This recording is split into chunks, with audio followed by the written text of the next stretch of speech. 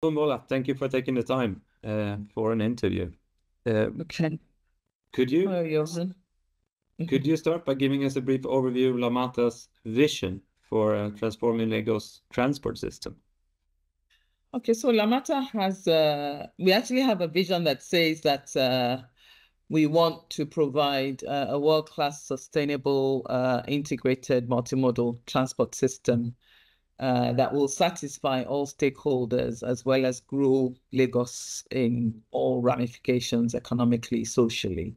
So that's the vision of Lamata. Um, that's a vision that we have, and that's what's driving us. It's, and and and in that we're now looking to develop. Um, so first of all, we have that responsibility for the strategic transport master plan, which is the plan for the transportation for the whole of Lagos, looking at all the modes, i.e. water, rail, and road.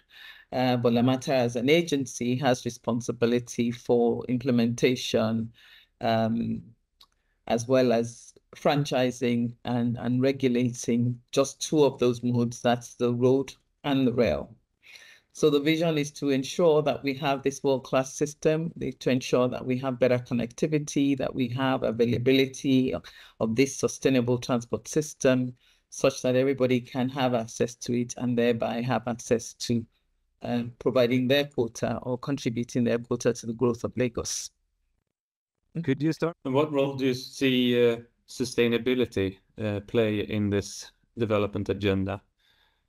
So, I mean, in all sense of the word, we look at it from the perspective of uh, the whole world is talking green, for for instance, and we're all saying that we want to reduce carbon emissions. We know that transportation is one of the uh, biggest culprits when it comes to um, uh, carbon emissions. And the vision is that we, we as an agency uh, from the transport sector are looking to reduce that. Um, and so therefore, you think about some of the work that we've done uh, with the Swedfund, which is uh, the looking at alternative fuels for our buses in particular. and that assessing and understanding, and then developing a full feasibility study for uh, biofuels. So we looked at biodiesel, we looked at biogas, and, and to also understand the feedstock that is available, various criteria for assessing the viability of it, not just from um, utilization perspective, i.e. the feedstock, but also how commercially viable will it be such that it becomes something that we can look at. And we know that uh, that will help us in getting carbon free in our transport system. Um, so sustainability is a big, big thing for us and we're actively pursuing it. Is there anything in uh, in particular that you uh, you know would consider the key milestones of the partnership that we've had now, uh, Lamata and Swedfund for two years?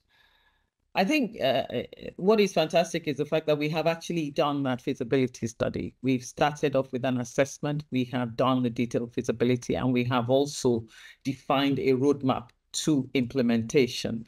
Uh, and that has identified that, yes, we can have a commercially viable uh, biogas plant that will provide um, not just alternative fuels for the buses, but also generate electricity. And therefore, in that sense, it says we have something that will actually work. And we're now defining, we have defined the roadmap. We're now supposed to be going forward to define the, uh, you know, the policy framework around it, the uh, legal framework to ensure that we can actually work with private sector to implement that. So for us, it's a big, it's it's really a huge milestone that's been achieved. Excellent. Um, were there any uh, kind of specific things about uh, the biofuels potential for Lagos that kind of excited you or surprised you?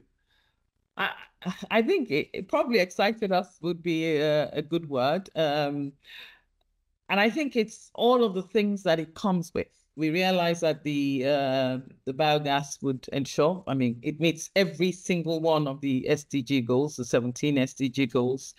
It will give us a multi-fuel system for our buses so we're not captive to one thing. It will provide uh, reduced operational um, costs because and then it helps us also to utilize our waste, which is a huge menace in the state. Uh, we're a city of over 22 million people. We generate uh, hundreds of thousands of tons of waste on a daily basis that up until now has been seen purely as that. But now, uh, when we can implement this, then we can not only manage our waste, we can use it to uh, for positive uh, means within the state. We uh, the the byproducts can also be used for animal uh, of fertilization of plants. So the, I mean, the the the implementation of this has a plethora of positives for the state. Yes. And, and looking a bit broader to more of the kind of socio-economic uh, factors, and you, I mean, you're developing the transport system in in many ways now pretty quickly. And what do you see as the the positive impacts on you know other things than call it the green agenda um, with this? So, yeah, I mean, for us, it's um, that means I'm generating jobs. I'm creating jobs. So you're looking at, even with the um, uh, biodiesel, you're looking at with the feasibility study for the one plant, we're looking at over a thousand jobs. You're looking at um, beyond that, the ease of actually getting to work. So connectivity will ensure that people can access jobs, they can access education, they can access uh, hospitals, social social and economic um, activity within the state will be that much easier. Yeah, predictability of journey times says that I can plan my time, I can be more efficient in the way that I'm working. And so therefore, my contribution to the development, the, the growth of the state is that much more because I'm not spending three hours in traffic anymore. I'm spending 30 minutes for my one journey. And that means maybe I have five more hours in a day to actually be productive.